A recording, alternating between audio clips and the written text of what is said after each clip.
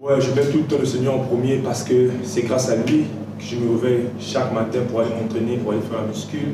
Et sans lui, je suis passé à je sais pas quand aujourd'hui. Donc, quand je me réveille le matin, avant d'aller jouer, avant l'entraînement, je mets toujours le Seigneur devant.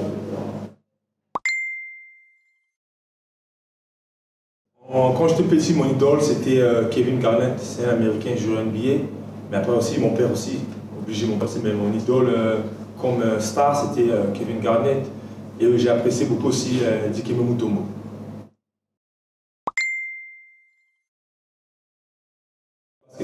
comme si, comme tous mes amis, ils sont militaires, c'était sûr que je serais déjà militaire aussi. Mais bon, c'est Dieu qui, qui donne. Et donc, je remercie le Seigneur pour ma carrière et là, je vis mes rêves.